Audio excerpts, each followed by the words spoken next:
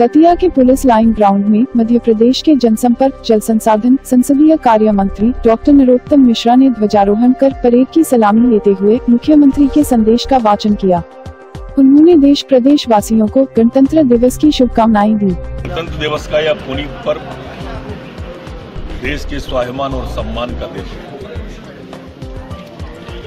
पूरा देश आज गणतंत्र दिवस मना रहा है। प्रदेशवासियों को, देशवासियों को इस पुनीत दिन की, शुभ दिन की बहुत बहुत शुभकामनाएँ देता हूँ।